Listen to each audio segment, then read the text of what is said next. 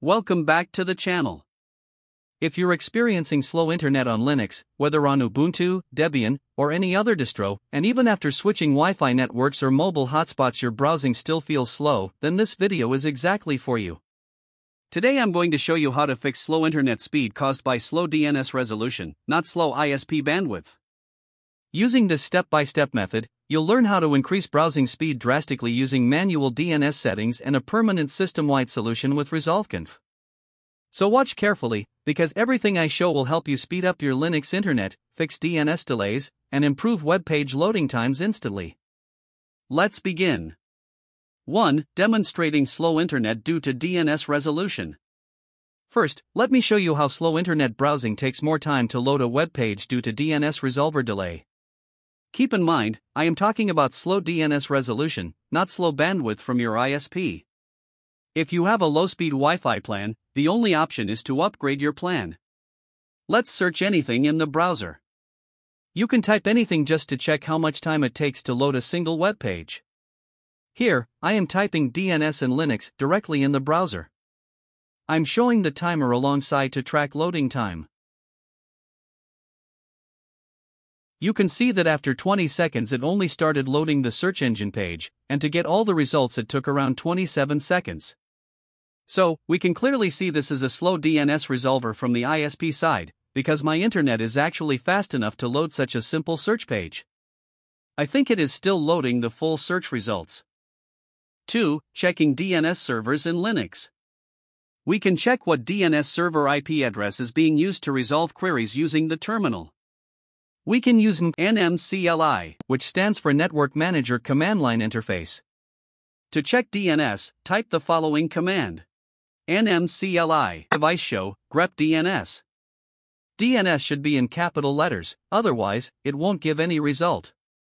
The output shows IPv4 and IPv6 DNS results. These are usually set by the router, which forwards DNS queries to the ISP's DNS resolver. Using the default is fine, but if you face slow DNS issues like this, you can manually use faster public DNS servers, which I'm going to show you next, along with a practical example of how fast the internet becomes after updating only the DNS server. 3. Checking DNS settings via the Linux GUI. If you want to check the default gateway, DNS server, and other details through the graphical interface, go to Settings Wi Fi. Select the connected network to see all details. Here, IPv4 and IPv6 settings are set to default.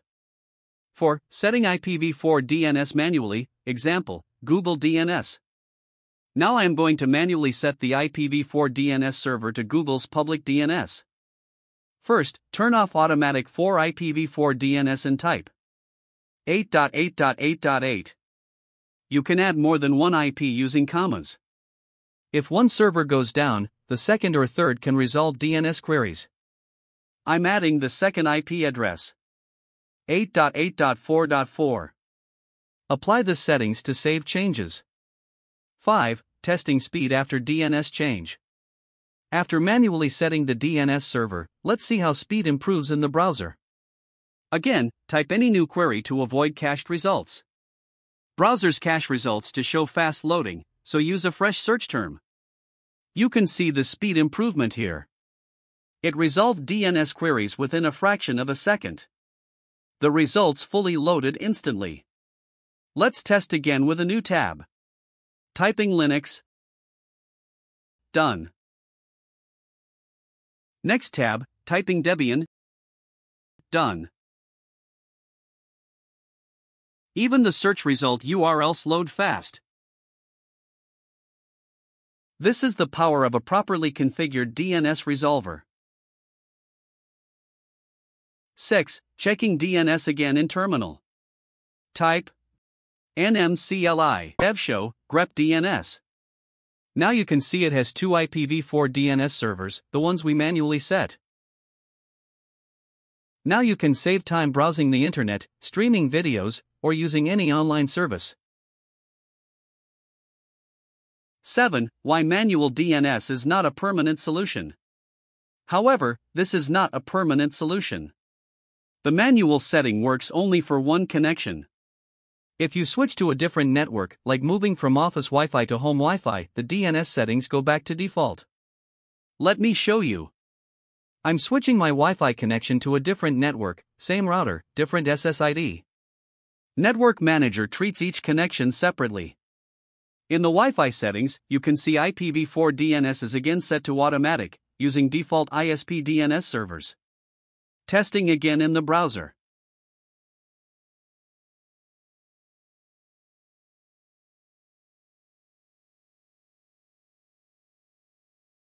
This time it took around 38 seconds, which is even slower because this is a 2.4 GHz connection.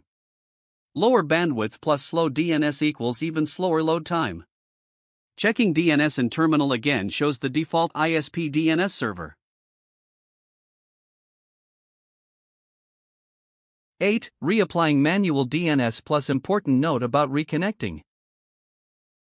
I'm now setting manual DNS again as before.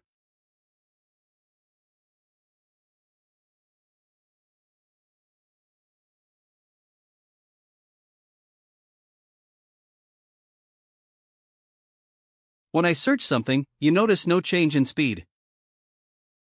Why? Because DNS changes require reconnecting to Wi Fi. Either turn Wi Fi off on or disconnect reconnect the network. 9. How to reconnect Wi Fi using terminal, without GUI. If you are on a server or CLI only OS, here is how to restart Wi Fi. Turn Wi Fi off. NMCLI, radio Wi Fi off. No output means the command worked successfully. Turn Wi Fi on. NMCLI, radio Wi Fi on.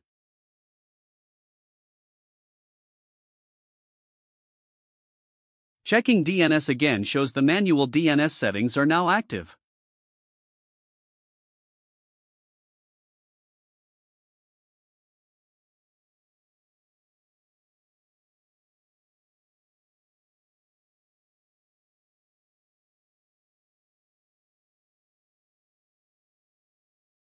And speed improves again.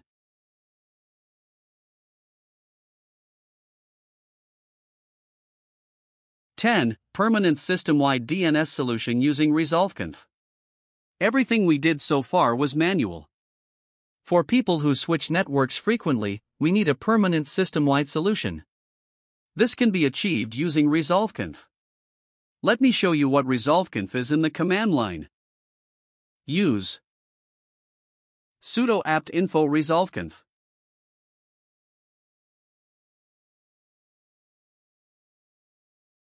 In the description, you'll find it's a framework for keeping system DNS information updated. Some distros have it installed by default. If yours doesn't, install it using sudo apt install resolvconf. Press enter, provide sudo password, and confirm changes by typing Y.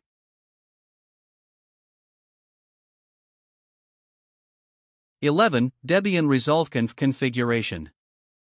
We have only installed resolvconf, it won't work automatically. We need to tell it which DNS server to use.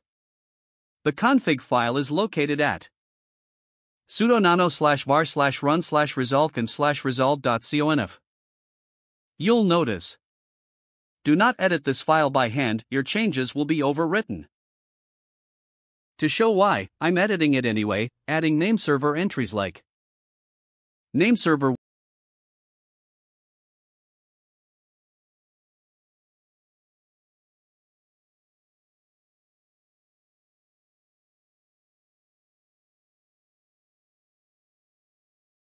one dot one dot one dot one Name server alternate under P. IPv6 DNS servers can also be added on new lines. Long IPv6 addresses must be typed carefully.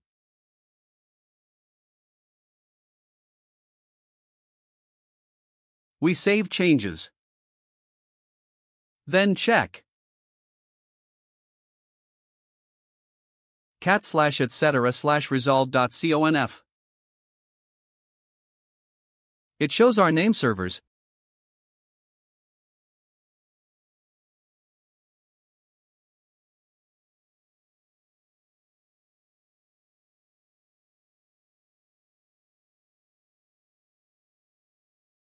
But this isn't the correct method because NMCLI still shows old DNS servers.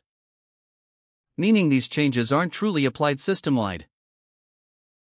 We must set DNS in another file. Clear manual DNS and Wi Fi settings, set it back to automatic, and restart Wi Fi.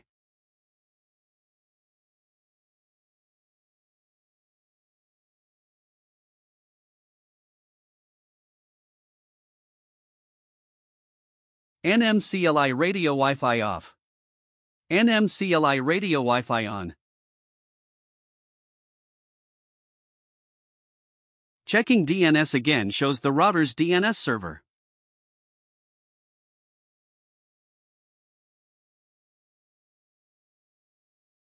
Twelve, correct file to edit in Debian slash etc slash resolvconf directory. Inside slash etc slash resolvconf there are four files base, head, original, and tail. Which one should we edit? Let's test the tail file first. Open it.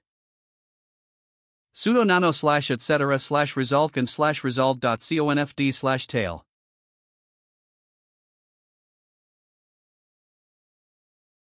Add your name servers here.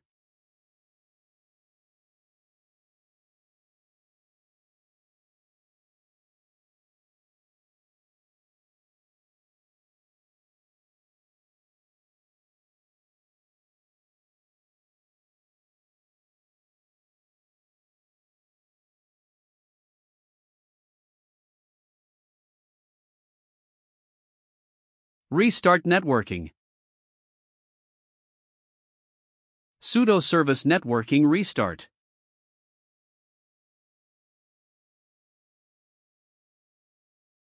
But Debian doesn't use this service for DNS. Instead, restart Network Manager. Sudo Service Network Manager restart. Now check cat slash etc slash resolv.conf.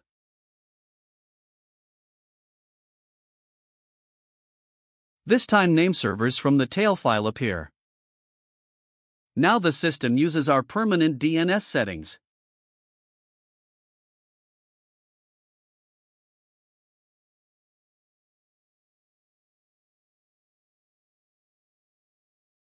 Testing speed in browser, superfast again.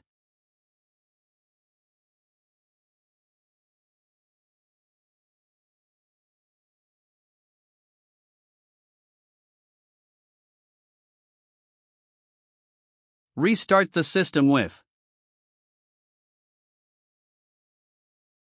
sudo reboot now. After reboot, check cat slash etc slash resolv.conf. You'll see router DNS first, because automatic was on, followed by our custom name servers.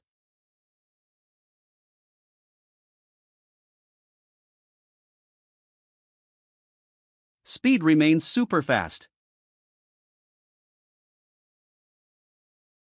13. Ubuntu resolvconf configuration, different from Debian.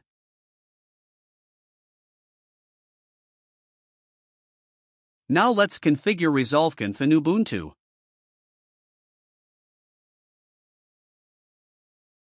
Testing speed shows slower results.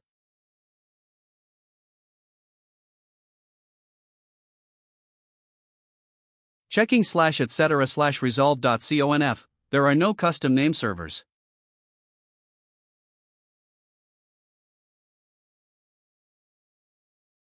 Install resolvconf.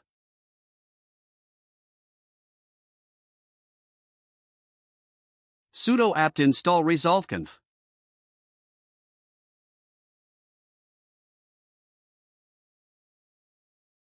Testing the tail file again.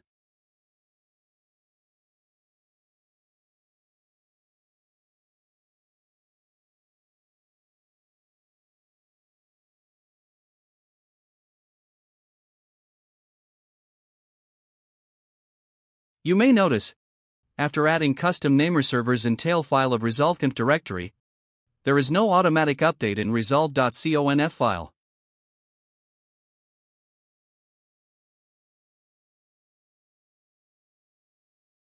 Adding name servers doesn't work automatically in Ubuntu.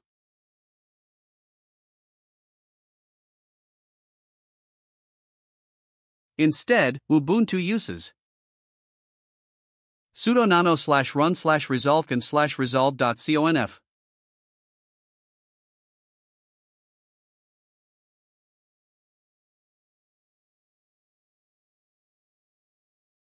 Add name servers here.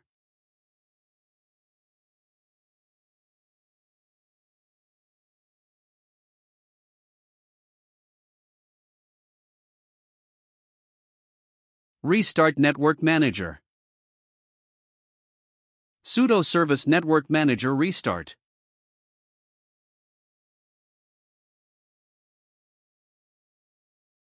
Now slash etc slash resolv.conf automatically pulls DNS from slash run slash resolvconf slash resolv.conf.